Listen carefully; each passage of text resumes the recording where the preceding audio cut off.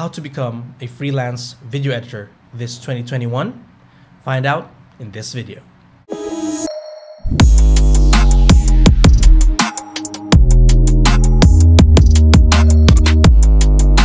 Hey YouTube friends, welcome back to the channel. If you're new here, my name is John and I make videos about freelancing, content creation, and personal development. This video is part one of a series I am calling the Freelance Video Editor Starter Kit. In this series, pag-usapan natin how to get started as a freelance video editor. So we'll be talking about number one, the tools and the software that you need to actually get started. Second is how do you get your first client and how do you get more clients? And lastly, the secret sauce to retaining your video editing clients. So if you're excited for this series, make sure to subscribe to the channel and hit that notification bell. That way you will be informed when the next parts of this series will come out. So without further ado, let's get started with this video.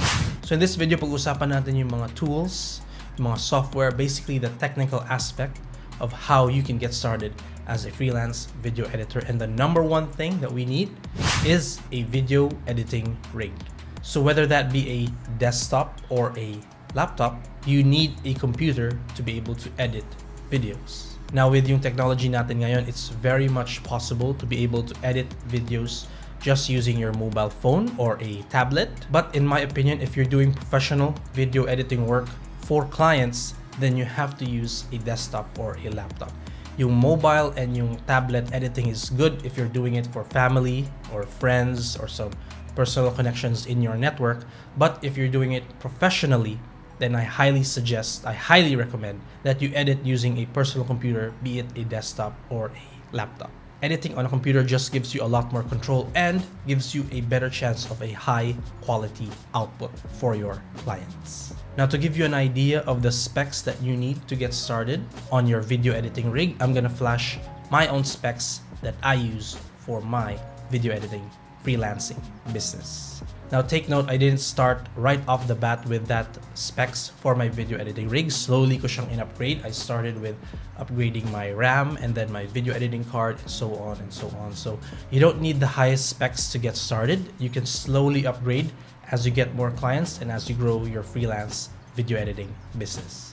On the screen right now is my recommended specs for a starter PC that you can get for an affordable price. And over time, you can slowly upgrade your specs as you get more clients. Now, how do you decide between a desktop or a laptop? Well, laptop is basically great when you're always on the move, when you're always traveling to different locations. Super convenient niya to bring around, lagay sa backpack mo, so you can edit videos wherever you are. However, it won't be as powerful as a desktop computer. Personally, I use both. Meron akong desktop dito sa bahay, the one that you see behind me and I also have a laptop to use when I'm on the go.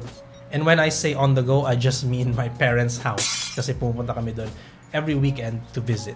As for the laptop, I personally use a MacBook Air M1. So far in the three months that I've been using this laptop, okay naman siya for video editing. However, yung Adobe Premiere Pro is not native yet to the new Mac M1 chip. So, okay lang siya for simple timelines, yung mga simple video files. But when I start to layer several video files on top of each other, medyo nag-slow down na siya.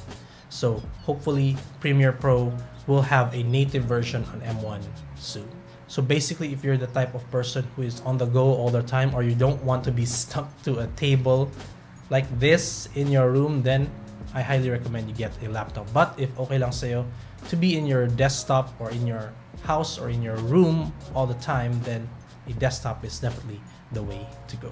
So now that we have our video editing rig, we're gonna need software to be able to edit videos. Now personally, I use Premiere Pro. It's a monthly subscription from Adobe Creative Cloud. And the main reason that I use Premiere Pro is because it's the first thing that I learned aside from iMovie, and I've been using it ever since. So maybe down the line, I'll try something else, but for now, I'm happy using Premiere Pro. Now, if you don't want to pay for video editing software just yet, there are many free options out there. One option that I recommend, and I personally use as well for some other videos, is DaVinci Resolve. So I'm going to leave a link in the description box below where you can get or download DaVinci Resolve. Now there are many more free video editing software out there. Do your research and take your time and test out which software works best with your style. Number three, super fast, blazing internet speed. Now, of course, as online freelancers, internet is a must have for us to be able to do our work, to be able to grow our business. But as freelance video editors, we need that extra oomph on our internet speed to be able to handle large video files. Me personally, I'm using a local internet service provider here in our area of Cagayan de Oro City. My internet speed is around 50 to 100 Mbps. Now, trust me, you're gonna need that speed because again, as I mentioned, since we are dealing with large video files, mauubos yung oras mo downloading and uploading these files if you have a slow internet speed. I would recommend at least the bare minimum 20 Mbps. Number four, cloud storage solution, whether that be Google Drive or Dropbox or any other cloud storage that you prefer. We're going to need online storage to be able to send and receive files from our clients. Personally, I use a combination of Google Drive and Dropbox. Both have free options up to a certain amount of storage, but trust me, you're going to need more than that. So check out each one and take a look at which you prefer. Number five, graphic design slash stock photo slash stock video slash graphics software. Now, personally, I use the paid version of Canva because inside of Canva, you have stock photos, stock videos, graphics. It has everything that I need to add to my video editing. So, syempre, when we're editing videos, we're gonna add text, we're gonna add graphics, we're gonna add videos, we're gonna add photos. We're gonna need all these elements to help tell the story of the video. And Canva has all of these elements built into one software. I also use Canva to make thumbnails for my YouTube videos and for the YouTube videos of my clients. So it's really a no-brainer investment for me kasi andyan na lahat sa kanya to help me make my videos better.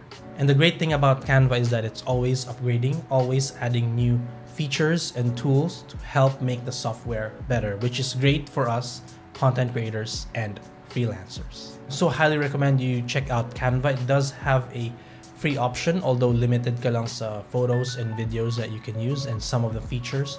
But I think it would be a great start or great complement for your video editing.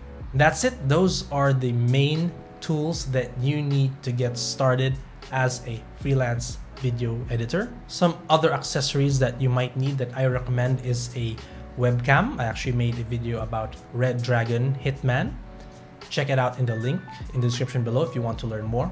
Also, you're gonna need a headset and a microphone to be able to communicate with your prospective clients on Zoom calls or to communicate with colleagues, fellow freelancers, or perhaps when you're building a team to communicate with your team as well.